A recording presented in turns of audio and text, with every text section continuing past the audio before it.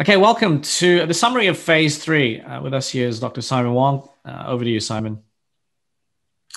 Um, so uh, the phase three recordings, which are part of the program for you guys, is uh, a preview into um, uh, what it would be like for a live experience in what we call the phase four live experience.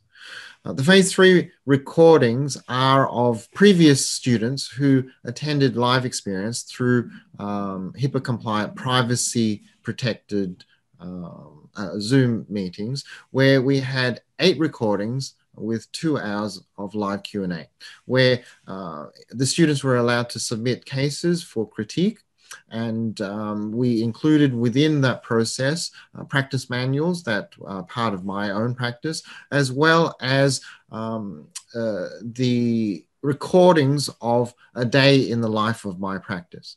Now, due to COVID situations, we haven't been able to uh, run that particular live session yet, but that will be part of the package that is included in your process. Now, the, the most important component of the uh, 22 hours of uh, scientific CPD credits is that we have 73 cases that were submitted by the, uh, the dentist who are part of the study group. We uh, have been able to create um, feedback and critique of the uh, from the PowerPoints that were submitted for the records. And um, I, I, was able to outline um, the uh, treatment that I would follow and my recommendations. So during that 12 week process, students were able to uh, upload every two weeks their cases for uh, critique and uh, feedback. We were we set a specific format, which I will share with you so that you've got an idea of some of the materials that were submitted and the, the way that we uh, helped the students through that process. So uh, in the uh, web page, you'll be able to download one of the examples. And this is uh, a case for Jonathan, one of the pediatric uh, specialists who attended the course and is part of the phase four program. Um, she presented uh, her records uh, we went through the overlay process that we discussed in the introduction course, how we utilize the um, analysis to give uh, the dentist an understanding of the process, um, the uh, parents who will be presented this information, an understanding of the analysis, and of course, for me to give feedback. Uh, we went through things like uh, cephalometric analysis, uh, the intraoral images, uh, the uh, model analysis, and the X-ray ev evaluation. Then each of the students would present their diagnosis and their treatment plans, and then um, put together some design that would meet the criteria for the mechanics that are involved in the treatment process. Um, we have records that are progressive. So what that means that uh, as the treatment uh, proceeds through, we ask the students to continue to document and to submit those documentations so that I can oversee the treatment and act as a supervisor of some description. We look at the appliances, uh, how they were designed, how they're being utilized, and we look at the progress of change that occurs uh, with the system that I hopefully will have passed on as to uh, appropriate for the uh, case at hand. Uh, we like to look at comparisons, so we set up uh, the uh, process of how we can uh, do before and afters. I'll make specific comments on each of the progresses and uh, give my responses um, every two weeks. The process, as we progress, becomes quite clear to be good information to help everyone understand what actually happens within the patient's mouth and extraorally as well. So um, the documentation, we try to be as complete as possible and as regular as possible. So every four or six weeks, new records are taken with the photographs, and we try to get a sense of how it progresses in real time. We can talk a lot, but there's nothing more powerful than images. And the power of taking progress records is invaluable in the learning process for both the uh, dentist and um, to keep the parents abreast of what's happening in their child's mouth. We talk about the different designs and um, I, again, I'll have verbal uh, comments and I will follow up with written comments. And so we keep adding to the collection so that each case becomes a full history of what's going on, how it came about, what we're doing about it, and what we're going to do to make things better for the children. The um, overall process I think has been very, very valuable for the students because they've been able to see what's happening in each other's hands and get my feedback and uh, assistance in that regards. Terrific. And, and just to clarify, there's 73 of these cases, and you asked us as part of you know operations to classify it and put it into folders by specific classifications, right? And those roughly those classifications in, included, if I recall, things like uh, class one um, crowding versus spacing, uh, class two div one div two. I'm not a dentist, so I've got no clue what all this means. High angle, low angle, class three pseudo dental, miscellaneous, and open bite dental versus skeletal. So we've put all 73 uh, into week by week, uh, so to speak, as well as classifications. So that is all available uh, in terms of written format in the in PDF. It's, we converted the PowerPoints into PDF, as well as every every two weeks we recorded the Zoom call where Simon gave the live critique and got extra questions, obviously, from uh, the particular student. So that that's all. It's like a vault, you could say, of all these cases. Very valuable um, kind of hands-on, uh, you know, be a fly on the wall to see what others have been doing over that period. So, anything else you want to add about um, you know this process, which is really going to be replicated live in phase four? So, if you once you complete phase one, two, three, which is predominantly the bulk of sixty hours or so of you know live sessions that happen, full day sessions, uh, two, three hour sessions, Q and A sessions, all recorded systematically, laid out and then on top of all the practice manuals on top of all these type of extra resources for people to study after you go through all that is when you can apply to get into the live mentoring which is an ongoing thing. We've structured it with simon so it's every two weeks live. You can join at any point. So when you finish phase one two and three when you're ready when you feel like this is something where you want to take uh, on and in, a, in a live experience and submit your own personal cases, that's when you apply to get into phase four. And application means filling out a form and then scheduling a one-on-one call with Simon to make sure this is a good fit, right? So uh, there's also a few extra parts to phase three. If you can scroll down, Simon, what else do we have here? Oh yes, the Facebook group, if I may. Um, we, we really try to replicate kind of the experience that people had last year but at the same time give people the option to compress literally the roughly nine months that they went through phase one two and three uh, that was spread out. And if you really want to you know zoom through all 60 plus hours of content you can do that at your convenience.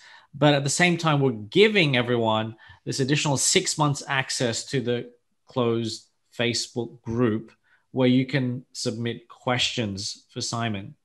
Now, when you join the two day intro course, you get either one or three months of access to this closed Facebook group where you can ask questions after the event uh, to Simon related to the two day intro course. When you enroll in the advanced program, phase one to three, you get an additional six months where you can submit your questions. And there's like close to 100 people in this group, and they can give their feedback. It's it's a study group, right? And Simon as well will obviously be chipping in, uh, answering questions. Just to clarify, Simon, you can't submit the full uh, 50 pages, you know, whatever Simon requests of people when you get into phase four in terms of providing certain X-rays, certain pictures. We have a whole protocol uh, when you before you submit a case to Simon, we've got specifically what he needs before he can give an evaluation and his own feedback. Uh, you can't do that inside the Facebook group because it's not HIPAA compliant and that's not part of the phase three experience in this particular format. It's only available for phase four. Now, in the, however, uh, you can submit general questions related to the course. And you said, Simon, uh, before we started recording, you can submit like a picture of, you know, an anonymized. Yeah. So we're we're looking at uh, the various formats that allow for privacy laws and HIPAA compliance, and uh, Facebook uh, does not uh, allow for that. So we're limiting to general questions and any specifics to intraoral images and um, trying to give you some answers to questions that are related to general questions for uh, the introduction course and the postural orthodontic uh, phase, advanced phase uh, questions. Mm-hmm. What we are happy to do is help you to understand the material that we've been teaching, uh, the theory that we've been teaching.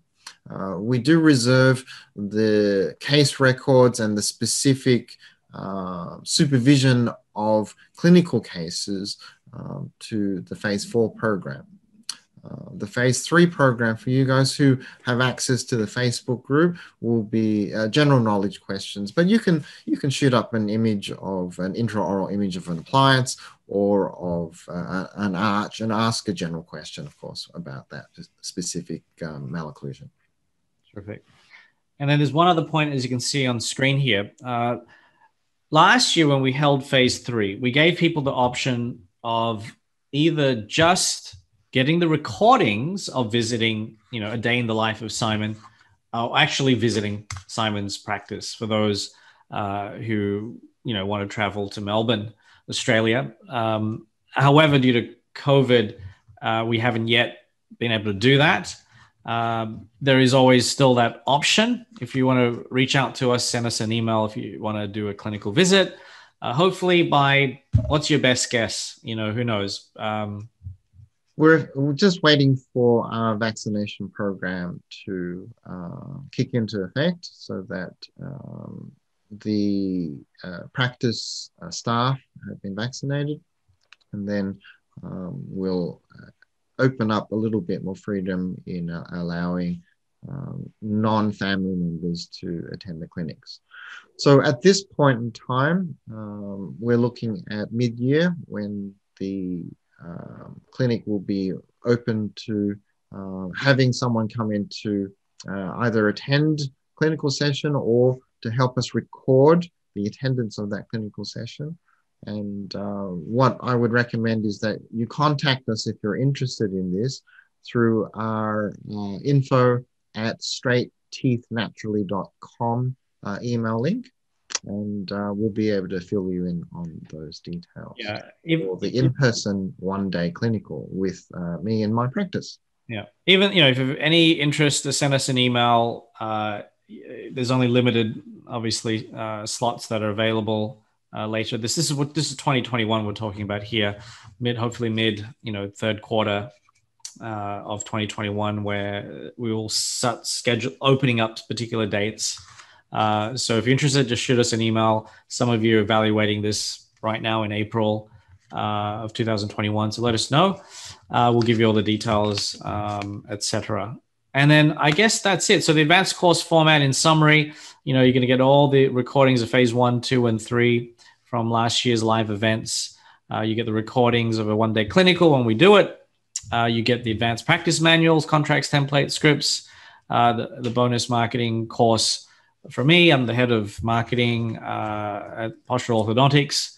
Simon's uh, brother helping putting this all together logistically and you get additional six months access to our closed Facebook group. My background is not in healthcare; it's all in you know strategy consulting with Fortune 100 in the last 20 years, internet startups, and working with uh, thought leaders, Tony Robbins, Robert Kiyosaki's of the world, helping them with their video marketing, uh, helping there with their course creations, and so on. So uh, you know, it's been a lot of fun, obviously, helping my brother put this all together. So we put together, I've had a, a flagship program that we're included for free. There's 20 odd hours of training.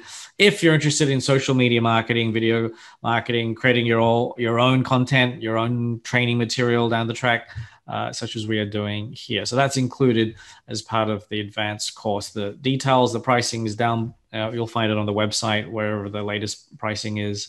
And I believe that's it. So Phase three, a very complete summary um, to wrap up the uh, the advanced program, phase one to three. Phase four, there's details for phase four on the website. Uh, you can check that out uh, below uh, and so on and so forth. All right. So thank you, Simon. Any final comments? Um, that's about it. No, we. Um, I, I, think that's going to be an excellent program. A combination of uh, my clinical assistance and um, Kian's marketing prowess, I, I, think we can help uh, establish a, a, positive change um, to your early intervention orthodontic practice. We have a lot of details with the FAQs, and I recommend you go through uh, all the you know the the details that we've laid out on this page. Um, and f- feel free to reach out to us if you've got any questions that we haven't clarified on this website. All right, so that wraps up this uh, summary of our advanced program, phase one to three. All right. Okay, thank you, Simon. Thank you all. Hope to see you either uh, in the live two day event or if you've already completed it, hope to see you inside the Facebook group as part of the advanced program. All right, and uh, hopefully phase four when it when the time comes. All right, Great. thanks. Guys. Thank you. Bye bye.